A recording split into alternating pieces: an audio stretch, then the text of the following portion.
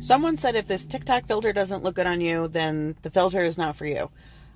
Bitch, why do I look like Mimi from the Drew Carey show got a 2023 upgrade? Like she went and found Ulta